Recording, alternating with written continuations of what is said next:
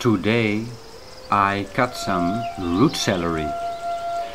And I pick some wild vegetables from my balcony but I grow also some of them like parsley and spring onion, alfalfa leaf, Robert's herb, red shank and I cut some mushrooms and a small onion.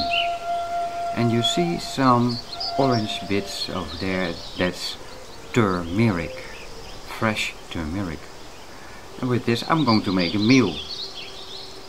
Put them in the frying pan.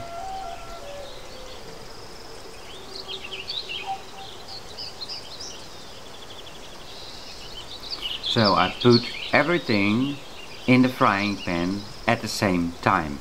And that's one of the tricks because you just stir fry it. And stir frying for 5 minutes with olive oil is okay but when you stir fry it longer it's not okay anymore. So the olive oil will deteriorate. And I put some sesame seed on top.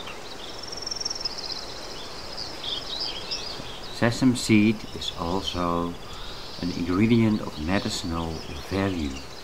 I didn't put that in the ingredients, but I decided it later to add a medicinal value.